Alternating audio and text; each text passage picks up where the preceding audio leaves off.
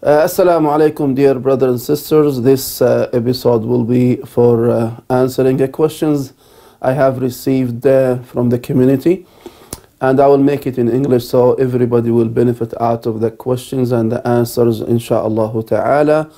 So be with me, inshallah. After the ad, we will continue, inshallah. Jazakumullah khair.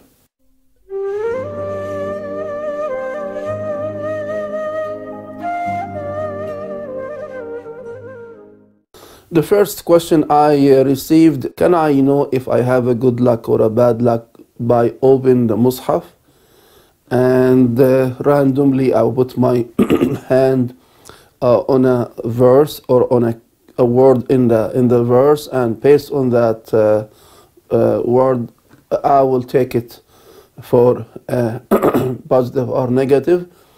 Uh, the question came from one of the community members. The answer absolutely this is not correct because this is part of believing that somebody can decide or something can decide on behalf of the ghaib that this is right or wrong or this is good or not good. Uh, and this is against our faith. Uh, we believe in Allah subhanahu wa ta'ala and we believe that nobody can uh, know the future except Allah subhanahu wa ta'ala and uh, this kind of uh, being optimistic or uh, not optimistic based on a certain things happening uh, randomly this is not related to our faith uh, at all. So answer is no we should not do that and it's not accurate not fact it's all fake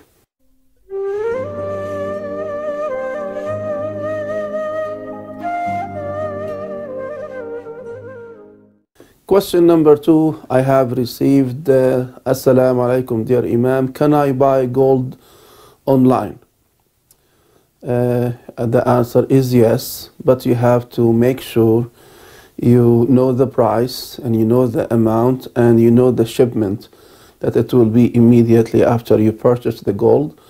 And if you trust the seller, no uh, big deal, inshallah ta'ala while the price is being finalized between you and him and you did your transaction and he will do the shipping for you uh, in the same uh, day of purchasing.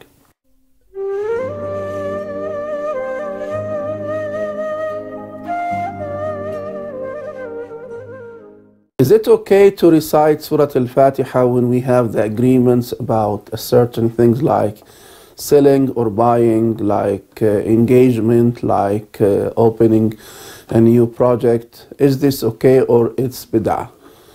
The answer, uh, it's not a bid'ah. Reciting Al-Fatiha with the intention of having the barakah of these agreements or new relation or engagements or marriage ceremony or opening a new business it's kind of having the barakah and the blessing by reciting the verses of Allah subhanahu wa ta'ala. It's better than to start uh, having uh, uh, something else not related to uh, our our deen. So it's not a bid'ah, uh, and the intention is having the barakah, inshaAllah ta'ala, by reciting uh, the, the words of Allah subhanahu wa ta'ala.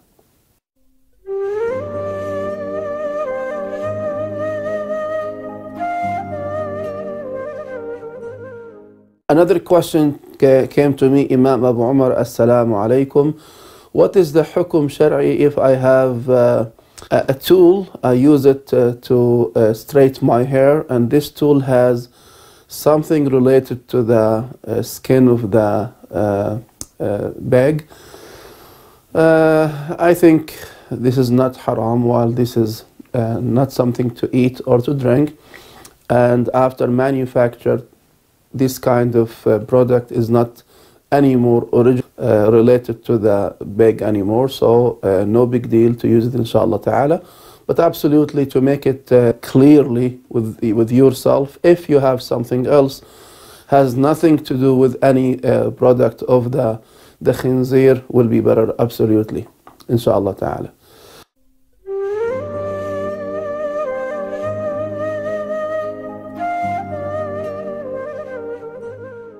Another question came to me about uh, the ayah in Surah Yusuf, وَهَمَّ بِهَا. Uh, uh, the questioner said, uh, what is the meaning of وَهَمَّ بِهَا? He said, we know that the prophets are uh, ma'soom and how he has this kind of intention to do the haram thing. Uh, absolutely, this is not the meaning of this, uh, this kalima. Uh, uh, and if you listen to Imam Abdul Basit when he, when he recites this ayah, he will stop on her ham, وَلَقَدْ هَمَّتْ بِهِ He will stop and he will continue وَهَمَّ بِهَا لَوْلَا Her ham is different than his ham. Both in the same location and both inside the room and the room is locked. But her ham is to do the haram. His ham is to prevent her from being close to him using his hands or slap her face or try to beat her or try to do something. So Allah subhanahu wa ta'ala shows him a sign that don't do it because you will be in trouble. They will kill you. And he uh, immediately redirected him to run toward the doors and Allah subhanahu wa ta'ala unlocked the doors and he left the room. And you know, uh, at the end of that uh, uh, hallway, they found the husband behind the last door.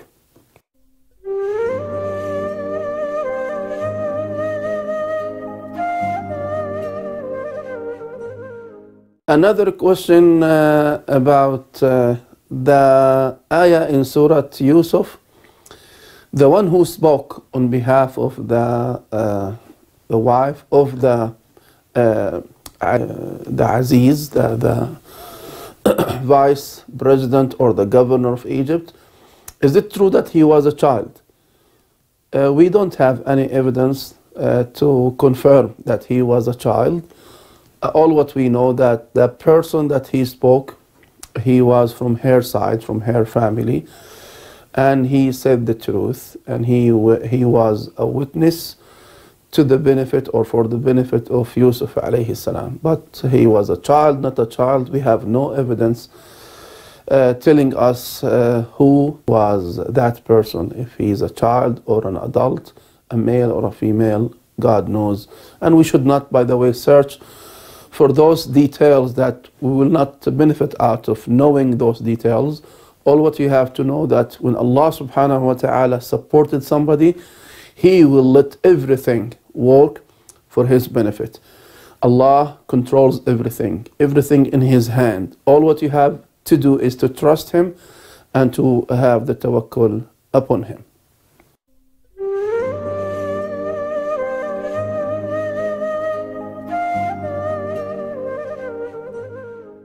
Another question came to me if I'm bleeding, uh, can I pray? Uh, if I'm bleeding and if this blood touched my uh, clothes, absolutely you can't pray with the blood uh, over your clothes because you know uh, these days we have the time and we have the facility to clean it and to change our clothes because the blood is najis and we can't pray with the uh, clothes that they have najasa on it. Uh, absolutely this question in general, but in certain cases when you have, for example, a mission, you are in a military, you have no time or no chance to wash it or to clean it, in that time it's a necessity and that it's special uh, rules for that situation. But in general, yes, the, the, the blood has to be cleaned before you pray to Allah subhanahu wa ta'ala.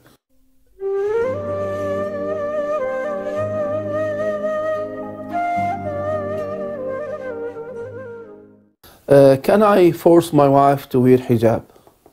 Uh, this question came to me from one of our sisters. Uh, no, you can't force her because when you force anybody to do a certain thing related to the faith, you will uh, uh, force him or you will let him do it without sincerity. And anything without sincerity, it's not acceptable and it will not be counted for her as a, a worshipping to Allah subhanahu wa ta'ala. And, and I can assume that when you marry her, she was without hijab, and you agreed about that. So you have to respect that she wasn't muhajjaba and you can't force her to uh, wear the hijab, but uh, you have to show her that it's kind of uh, da'wah for her. You have to convince her, you have to make dua for her, you can uh, explain to her and uh, have sabr on her, inshallah ta'ala, and she will absolutely one day uh, wear it if you will be a good example for her in uh, uh, this subject regarding the, the religion. Uh, can I divorce her if she refused? Uh, I can't say it's by law, it's a eligible reason to go and divorce her because she's not muhajjaba, unless if she was muhajjaba before marriage and she changed after that and you put that as a condition to continue your relation with her. In that time yes you have the right to say wallahi uh, i want my wife to be muhajjaba and this is what we uh, start with from day one and now you want to change i'm sorry i can't stay with you.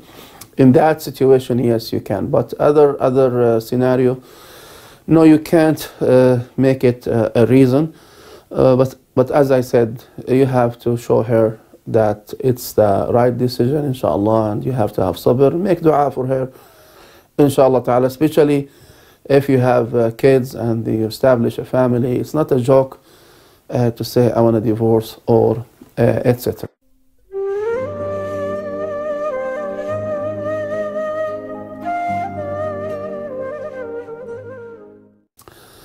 Another question uh, came to me uh, I am an old lady and my husband passed away. Should I do the iddah while I don't have any uh, chance of being pregnant or something like that? Uh, absolutely, you have to do the iddah because the iddah is a haqq for Allah subhanahu wa ta'ala. Uh, even if you don't have relation with him or you don't even have the uh, capability to be pregnant anymore or even if you hate him, no kind of loyalty or respect for his uh, uh, life, uh, you have to have the, the iddah, what we call it, the duration, the four months uh, and 10 days, because this is the right of Allah subhanahu wa ta'ala, and we have to uh, do it for the sake of obedience to Allah subhanahu wa ta'ala. No kind of loyalty or respect for his uh, life, uh, you have to have the, the iddah, what we call it, the duration, the four months uh, and 10 days, because this is the right of Allah subhanahu wa ta'ala, and we have to uh, uh, do it for the sake of obedience to Allah subhanahu wa ta'ala.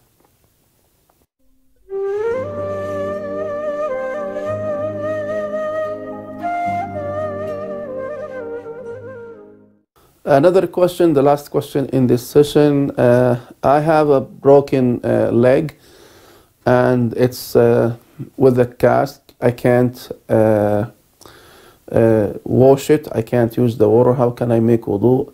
And how can I make ghusl? Absolutely, you don't have to wash that part of your body in your ghusl or in your wudu. All what you have to do is just to uh, make masah on it with a wet hand and that's it. And when you have a ghusl, you just put the plastic bag on it so the, the water will not touch it and will not affect that part of your body, inshallah, until you will be recovered. And uh, Allah subhanahu wa ta'ala, He wants the easy for us, not the difficult. May Allah bless all of you. Those are all the questions that I received. May Allah make it clear for our heart and for our community. May Allah bless all of you. Uh, Jazakumullah khair. Assalamu alaikum wa rahmatullahi wa barakatuh.